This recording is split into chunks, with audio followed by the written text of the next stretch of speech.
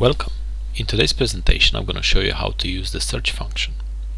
Located on the M extension toolbar, the function can be used to locate models based on their properties rather than the file name.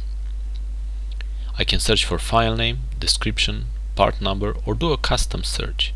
For example, I can find all models made by a certain user and we can add as many conditions we want to build our search formula.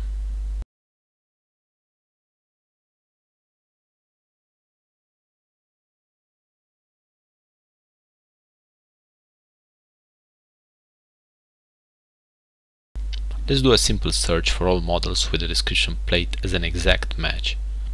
I have filtered to find just parts and assemblies as I could have selected drawings, presentation files or even features and constraints matching my search formula. I need to select the folder where the search will be performed and if to include subfolders.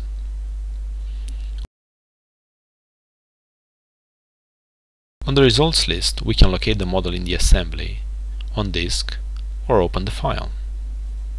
Now we're going to try a different search and look for all models containing plate in any part of the description.